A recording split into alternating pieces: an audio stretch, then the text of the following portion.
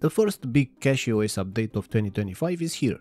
This update took a little longer than expected because the developers wanted to wait for a new NVIDIA driver. Now that's available, the team has made some great improvements to performance, compatibility and features. So let's break it down. One of the biggest changes in this update is the improvement to the CachyOS kernel. If you're new to Linux, the kernel is the core of the operating system. It's what makes everything work from running your programs to managing your hardware.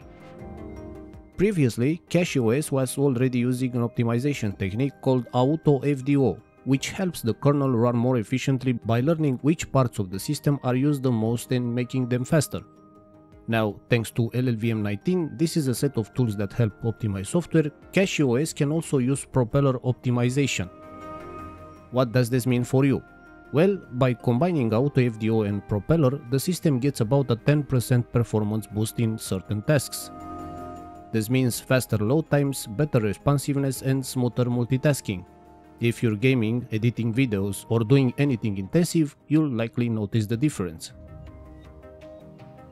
If you have an Nvidia graphics card, this update is especially important. The new Nvidia 570 driver has been added along with support for Nvidia's latest Blackwell 50 series GPUs. However, there is an important change. Blackwell GPUs will only work with Nvidia's open source driver.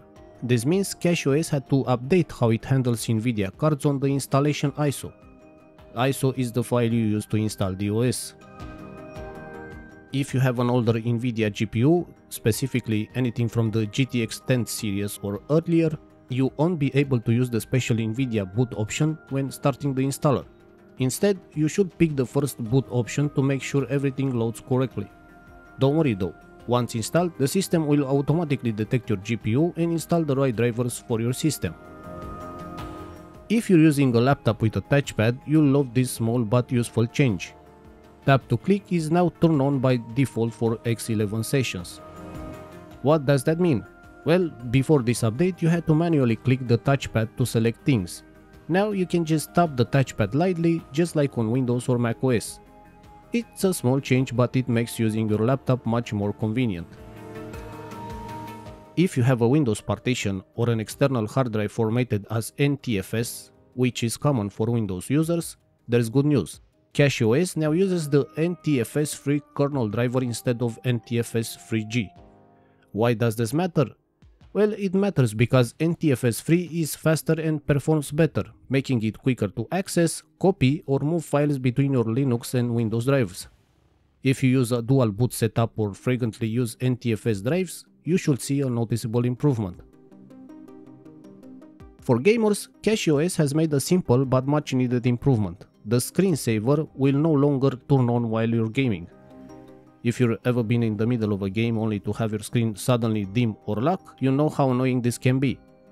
Now, the OS will detect when a game is running and disable the screensaver automatically. No more interruptions while you're in the middle of an intense match. If you're using an AMD Ryzen processor, this update comes with a few fixes that will make your system run smoother. The AMD preferred core feature has been updated to work correctly, meaning your CPU will now prioritize the fastest cores more effectively. The AMD 3D V-Cache driver now updates properly in real time. Before it wasn't registering changes correctly, but that issue has been fixed. These fixes should result in slightly better performance and stability, especially for people using Ryzen chips with extra cache memory. Every big update comes with bug fixes and this one is no different.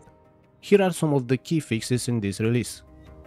If you're a video editor using DaVinci Resolve, you may have noticed that it wasn't working with CUDA when the Intel OpenCL runtime package was installed. This has finally been fixed so you can edit video without any problems.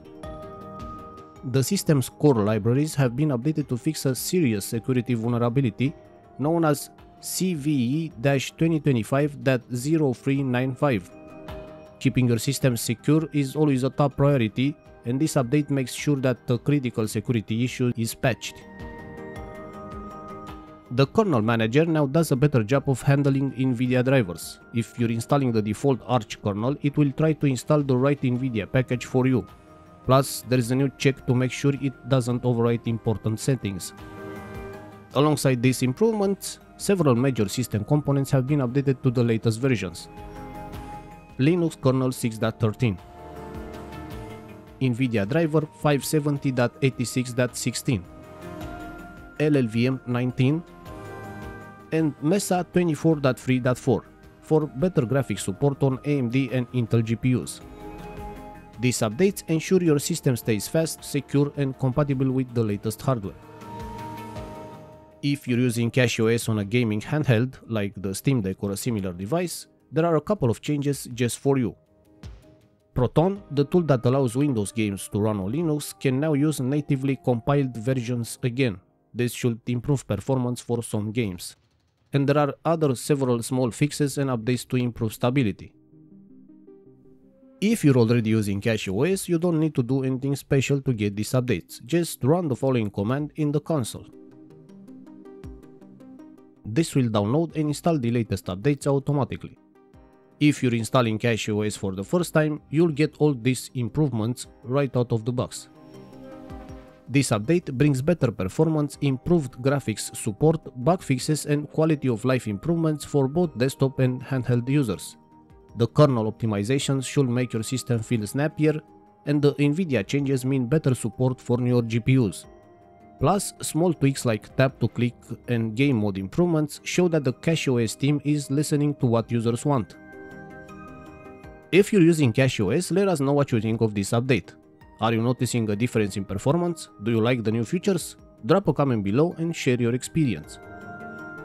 And as always, thanks for watching and don't forget to like, subscribe and hit that notification bell for more Linux content. See you in the next one.